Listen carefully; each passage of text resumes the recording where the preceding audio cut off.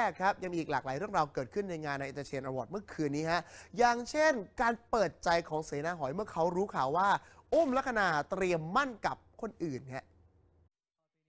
งานนี้เรียกว่าเจ็บจี๊ดซ้ำสองในเวลาไล่เลี่ยกันเลยครับ กับพิธีกรอารมณ์ดีเสนาหอย เพราะอุตส่าห์ประกาศเดินหน้าจีบสาวเซ็กซี่ อุ้มลักษณามาตั้งหลายเดือน แต่เมื่อไม่นานมานี้ ฝ่ายหญิงก็เพิ่งจะ grand opening เปิดตัวแฟนหนุ่มอย่างเป็นทางการว่าชื่อบอลกฤษณะ ดีกรีเจ้าของโรงแรมที่เชียงใหม่ ว่าเจ็บแล้วนะครับ ล่าสุดยังควงกันไปตัดชุดเตรียมมั่นหมายกันอีกด้วย แต่ถึงแม้ว่าจะเจ็บจี๊ดในหัวใจแค่ไหนเสนาหอยก็ออกปากแสดงความยินดีกับสาวอุ้มไปเรียบร้อยแล้วครับ เพราะเธอมาบอกข่าวดีนี้กับเขาด้วยตัวเอง พร้อมออกปากถึงจะไม่มีอุ้มเป็นแรงใจอีกต่อไป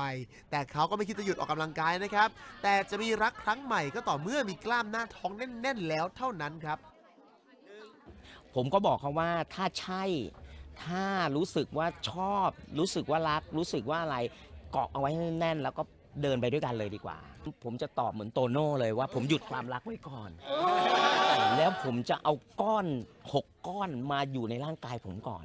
ถ้าผมได้ผมจะเดินทางที่เดินหน้าต่อไป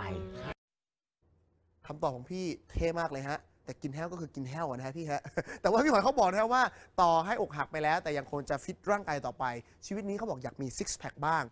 อืม นี่ก็ควรจะมีบ้างเหมือนกันได้แล้วนะอะ